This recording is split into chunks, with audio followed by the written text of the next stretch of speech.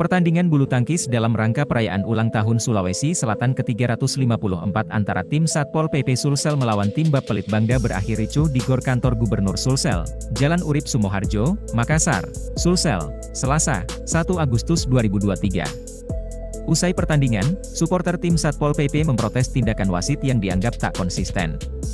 Emosi yang membara membuat sejumlah anggota Satpol PP terlibat dalam perkelahian. Dari video yang beredar, terlihat adu mulut terjadi lebih dulu. Kerumunan anggota Satpol PP terlibat adu mulut dengan supporter maupun perangkat pertandingan. Tiba-tiba, dua orang anggota Satpol PP terlihat melayangkan pukulan. Selama pertandingan bulu tangkis, kedua tim bertarung sengit. Kemarahan supporter terjadi dipicu kepemimpinan wasit. Hakim garis pertandingan tersebut dinilai banyak mengeluarkan keputusan keliru. Kepala Satpol PP Sulsel, Andi Arwin mengaku sudah mendapat identitas oknum Satpol PP yang terlibat dalam insiden tersebut.